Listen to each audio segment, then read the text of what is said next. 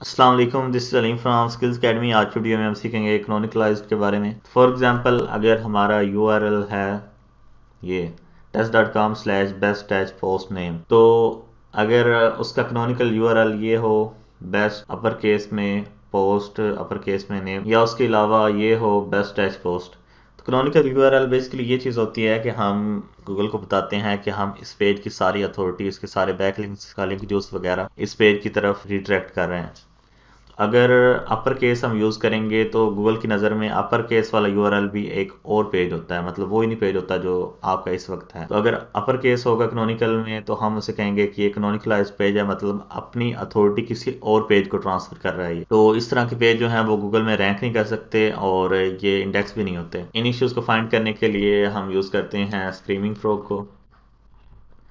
अपनी वेबसाइट की यूरल लिखेंगे, उसके बाद स्टार्ट करेंगे, जब क्रॉल हंड्रेड परसेंट हो जाएगी।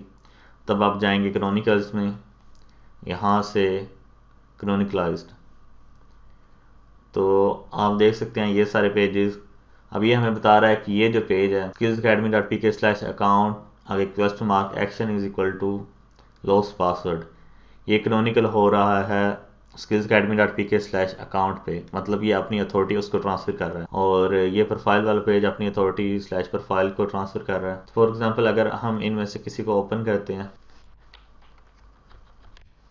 फॉर एग्जांपल इस यू को ओपन करते हैं एडिट पेज करते हैं क्रोनिकलाइज को फिक्स करने का तरीका ये होता है कि हम उसे सेल्फ रेफरेंसिंग कर देते अगर हम चाहते हैं कि वो पेज रैंक हो तो हम उसकी अथॉरिटी उसी पेज को ट्रांसफ़र कर देते हैं कि उसी के क्रोनिकल टैग में उसी पेज का लिंक फॉर एग्जांपल अब ये पेज है ना, इसका परमा लिंक मैं कॉपी करूँगा।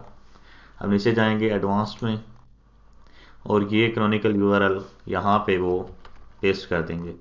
अब ये पेज अपनी अथॉरिटी अपने पेज को ट्रांसफ़र कर रहा है। मतलब अब पहले ये क्रोनिकलाइज था मतलब किसी और पेज को अपनी अथॉरिटी और लिंक चूज़ दे रहा था। अब ये सेल्फ रेफरेंसिंग हो गया मतलब ये आप अपनी अथॉरिटी अपने आप को ही दे रहा है। तो वीडियो देखने का शुक्रिया, उम्मीद है आपको कंसेप्ट की समझ आ गई होगी। अल्लाह हाफिज़।